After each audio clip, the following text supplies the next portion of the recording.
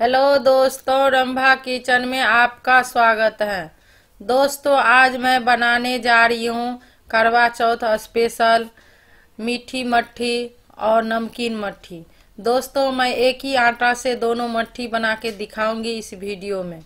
दोस्तों, जो भी हमारे चैनल पर न्यू आ रहे हो, जल्दी से सब्सक्राइब कर लीजिए और साथ में बेलकन दबाइए। ताकि जो भी मैं न्यू वीडियो डालूँ, आप लोग तक सबसे पहले पहुँच सके। दोस्तों, अब चलते हैं हम मट्ठी बनाने के लिए। सबसे पहले मैं आटा लगा लूँगी। आटा लगाने के लिए मैं सबसे पहले एक परात ले ली हूँ। इसमें मैं डालूँगी तीन कप मैदा। आप चाहे तो कटोरी से सेट करते हैं, कर सकते हो, चाहे आप मेजरिंग कप से। दोस्तों, हम मेजरिंग कप से आटा सेट किए हुए हैं। अब मैं इसमें डालूँगी 125 ml घी। ये देसी घी ली हूँ। इससे मट्ठी का स्वाद बहुत अच्छा आता है और खस्ता बनता है। और सारे को मैं डाल के आटा को मिला लूँगी। अब मैं सारे आटा को मिक्स कर लूँगी। इस तरह, अच्छी तरह आप मिक्स कर लीजिए।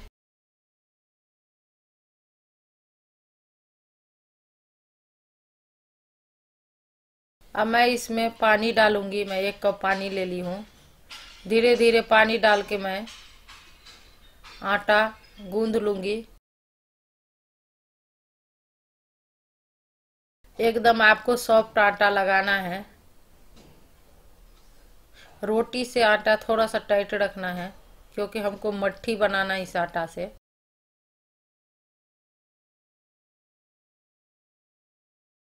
आप थोड़ा थोड़ा पानी ऐड करिए और आटा को इस तरह मिलाते रहिए।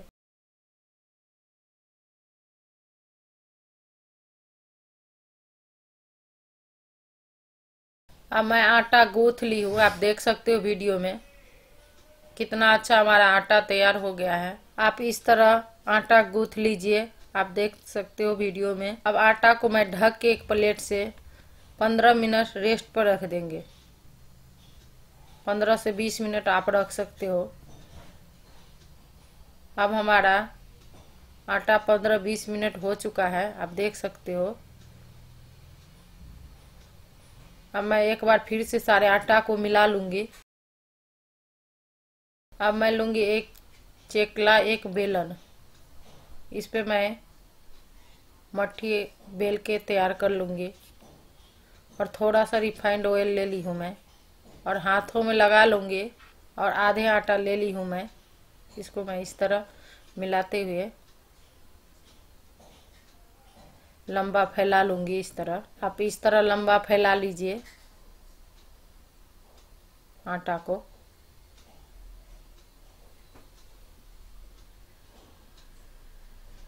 और एक चाकू की मदद से मैं इसको इस तरह काट लूँगी। पाँच छः हिस्से में मैं इसको गोले के लिए सेपरेट कर दूँगी। आप देख सकते हो। इस तरह आप गोल गोल लोई बना लीजिए। छोटा, बड़ा, आप जैसी मर्ज़ी आप बना सकते हो।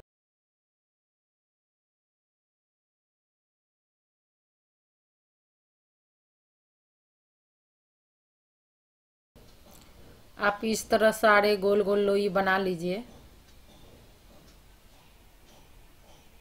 बाकी भी मैं इसी प्रोसेस से सारे लोई बना लूँगी। ये मेरा टोटल इतने आटे में बारह मट्ठी तैयार हो जाएँगे। अब मैं थोड़ा सा हाथों में रिफाइंड ऑयल लगा लूँगी और एक लोई ले लूँगी इस तरह और गोल कर लूँगी। आप इस तरह गोल लोई बना लीजिए।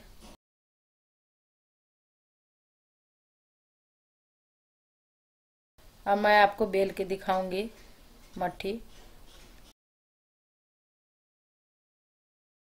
आप छोटा, बड़ा, जिस भी साइज़ में बनाना चाह रहे हो, आप बना सकते हो।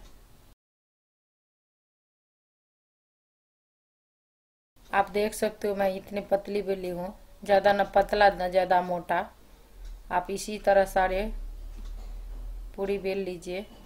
और एक स्पून की मदद से इस तरह मैं पूरी में छेद कर दूँगी, ताकि हमारा पूरी फूले नहीं और अच्छा से बन पाए। आप देख सकते हो, आप चाकू की मदद से भी इस तरह छेद कर सकते हो। और मैं इसको प्लेट में रख दूँगी। आप इसी प्रोसेस से मैं दूसरा पूरी भी बना लूँगी।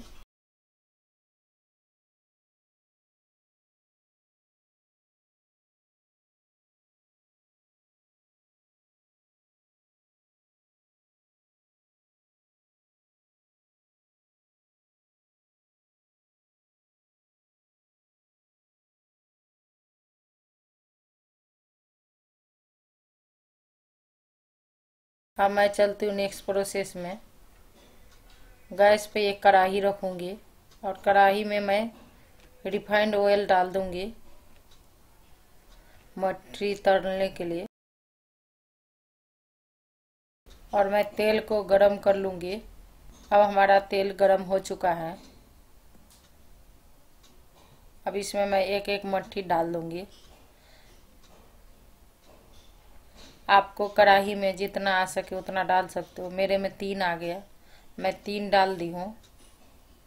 और आँच को मीडियम धीमी पर रखना है, क्योंकि मट्ठी को हमको धीमी आँच पे पकाना है, ताकि क्रिप्सी मट्ठी बने। और ये मट्ठी तलने में हमको पाँच से छः मिनट लग जाएँगे।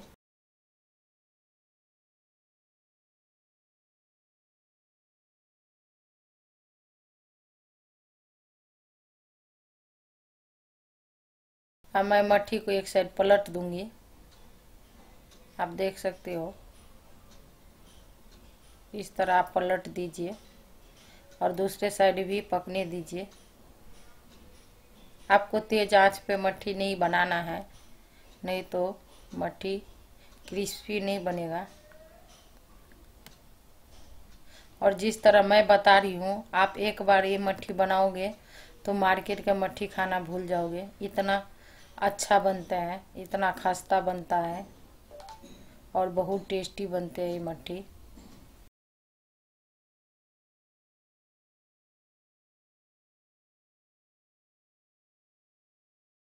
फिर से मैं दूसरे साइड पलट दूँगी।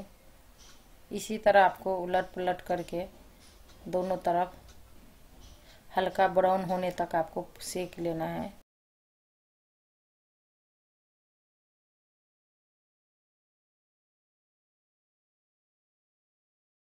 अब मैं अलट पलट करके दोनों साइड मट्ठी को पका ली हूँ। आप देख सकते हो, हमारा मट्ठी एकदम पक चुका है, ब्राउन कलर आ चुका है। आपको मैं दिखा रही हूँ कैमरे में। आप इस तरह मट्ठी बना लीजिए और निकाल लीजिए। अब मैं तेल में से निकाल कर आपको दिखा रही हूँ। ये देखिए, हमारा मट्ठी कितना अच्छा बन गया है। अब मैं सेम प्रोसेस से दूसरा मट्ठी भी डाल दूँगी।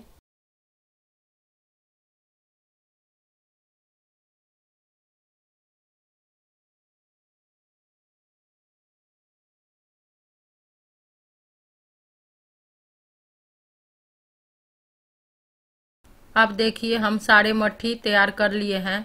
अब इसमें से मैं थोड़ा आधे मट्ठी मीठी बनाऊँगी, आधे नमकीन रखूँगी। मीठी मट्ठी बनाने के लिए मैं सबसे पहले चाशनी बना लूँगी। मैं फ्राई पैन रखी हूँ इसमें। वन फोर्थ कप मैं चीनी ऐड करी हूँ और आधे कप पानी ऐड कर दूँगी।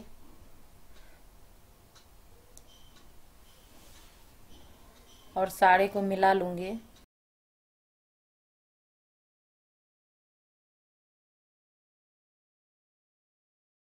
और चाशनी को मैं पकने दूँगी। देख सकते हो आप, हमारे चाशनी में उबाल आ रहे हैं। मैं इसको एक दो तार के चाशनी बनाना है। चीनी को मैं अच्छी तरह घुलने दूँगी।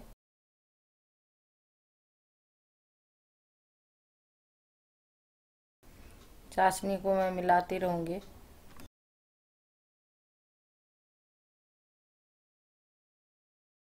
इसी तरह आप चलाते हुए चाशनी को पका लीजिए। हमारा चाशनी लगभग तैयार हो गया है। अब मैं आपको चेक करने के दिखा रही हूँ। एक कटोरी में पानी लीजिए, इसमें दो बूंद चाशनी डाल दीजिए। और हमारा चाशनी जमने लगे नीचे पानी में तो हमारा चाशनी बन चुका है। आप देख सकते हो। नहीं तो आप एक प्लेन कटोरी लीजिए, इसमें डाल लीजिए एक दो बूंद। उंगली से आप चेक कर सकते हो इस तरफ़। देखिए, हमारे तार का चाशनी बन गया है। अब मैं गैस को बंद कर दूँगी और चाशनी को ठंडा कर लूँगी। हमारा चाशनी अब ठंडा हो चुका है, आप देख सकते हो। अब मैं चलती हूँ नेक्स्ट प्रोसेस में। अब मैं जो मट्ठी रखी थी बना के और मैं, इसमें मैं पाँच मट्ठी को आपको दिखाती हूँ, मैं चाशनी में डुबो के आपको किस तरह निकालना है। आप एक मट्ठी लीजिए और इसमें चाशनी में डाल दीजिए, एक करछी की मदद से दोनों साइड इस तरह डुबो दीजिए चाशनी में, ताकि हमारा मट्ठी पे चाशनी चढ़ जाए। और एक प्लेट में निकाल लीजिए। अब मैं सेम प्रोसेस से दो तीन चार मट्ठी को इसी तरह चाशनी में डुबो दूँगी और निकाल दूँगी। यहाँ पर मैं एक टिप बताना चाहती हूँ। आपकी चाशनी गाढ़ी हो जाए तो आप दो चम्मच इसमें पानी ऐड कर सकती हो। इससे चाशनी थोड़ा सा पतला हो जाएगा और मट्ठी में आसानी से चढ़ जाएगा। इसी प्रोसेस से मैं सारे मट्ठी को इसी तरह डुबो दूँगी मीठी चाशनी में। देखिए दोस्तों, हमारा मीठी मट्ठी भी तैयार हो गई। इस पर मैं थोड़ा सा पिस्ता से गार्निश कर लूँगी। आप देख सकते हो। मैं टोटल ग्यारह मट्ठी बना था। तो इसमें से मैं पाँच मीठी मट्ठी बनाई हूँ और पाँच नमकीन मट्ठी बना ली हूँ। आप दोनों ही मट्ठी बना सकते हो इस तरह घर में। ये बहुत टेस्टी लगते हैं।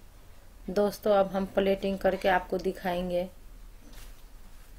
ये देखिए दोस्तों, हमारा मट्ठी अब तैयार हो चुका है। आप इस तरह मट्ठी बनाइए। हमारे चैनल को लाइक करिए, सब्सक्राइब करिए। दोस्तों में शेयर कीजिए और साथ में कमेंट करके बताना कि हमारा मट्ठी कैसे बना है। और जो भी हमारे चैनल को सब्सक्राइब नहीं की हो तो जल्दी से सब्सक्राइब कर लीजिए और साथ में बेलकन भी दबाइए ताकि जो भी मैं न्यू वीडियो डालो, आप लोग तक पहुँच सके। धन्यवाद।